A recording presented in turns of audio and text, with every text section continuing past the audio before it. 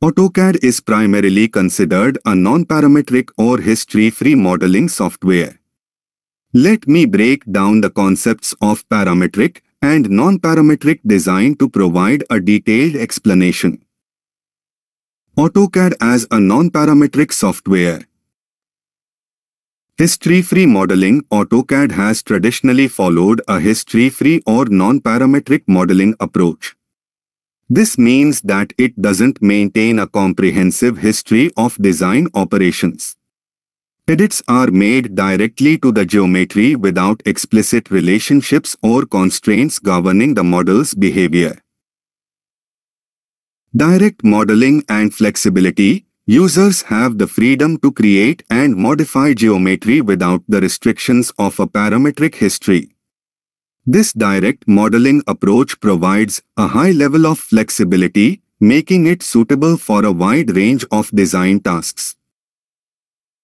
Command-driven workflow AutoCAD operates on a command-driven workflow, where users execute specific commands to create, modify, or manipulate objects in the drawing.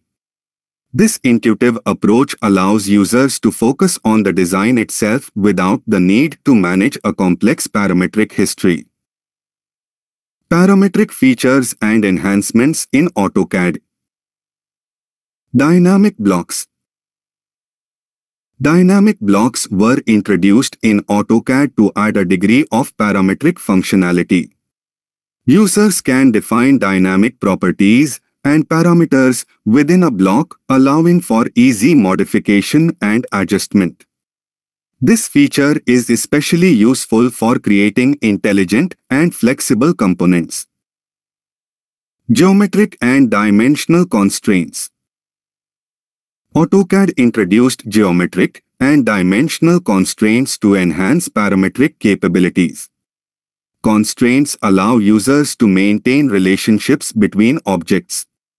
For example, you can apply constraints to ensure that certain lines remain parallel, perpendicular, or maintain a specific angle. Parametrically driven design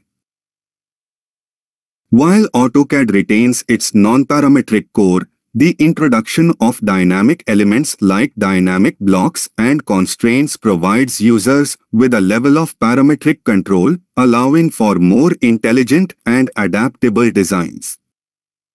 Conclusion AutoCAD continues to be a predominantly non-parametric design tool providing users with the flexibility to create and modify geometry directly.